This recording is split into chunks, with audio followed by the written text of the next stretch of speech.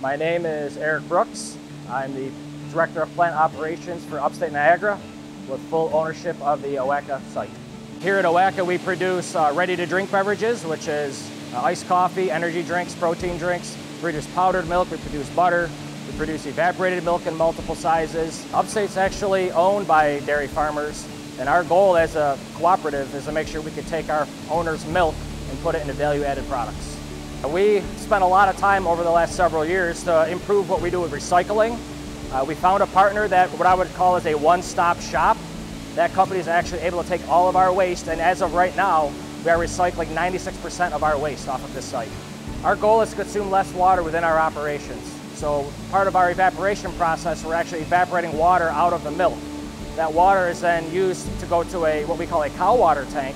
That cow water tank then feeds our boilers which then creates steam and helps us to make more product. As a cooperative, we're committed to doing our part to make the dairy industry more sustainable.